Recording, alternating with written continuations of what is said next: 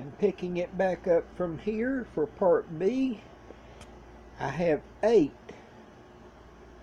of these 200 amp for a total of 1600 amps hours in my battery storage.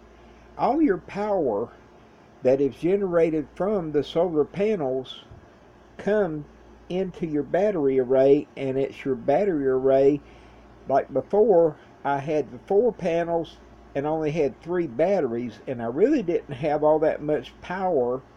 I couldn't run my microwave. I couldn't run efficiently my coffee pot. Drip coffee at a thousand watts is what the uh, most coffee pots make or run off of. My pure sine wave, this converts it to the 120 that I need to run whatever it is. I have uh, two 10 cubic foot freezers and both of those are running off of the power here. I have a refrigerator that from time to time I do run off of it. Right now I'm trying to use a little more power to it's funny they charge more per kilowatt for the less the more you use the less you pay.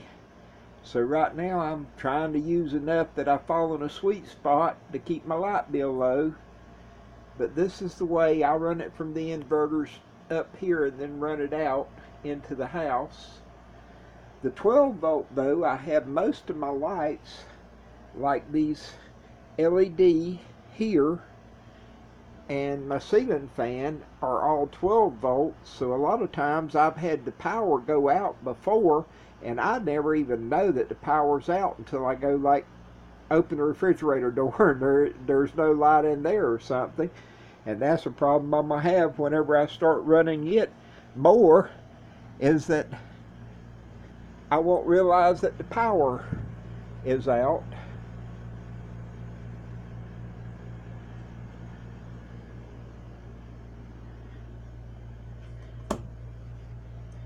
These are a halogen light. And I've been replacing those. They pull a little bit more power. This is my tankless water heater.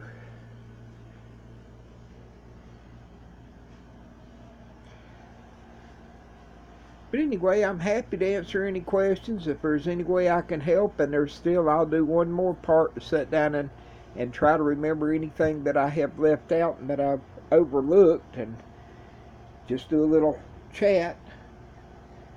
But we'll leave it there for now.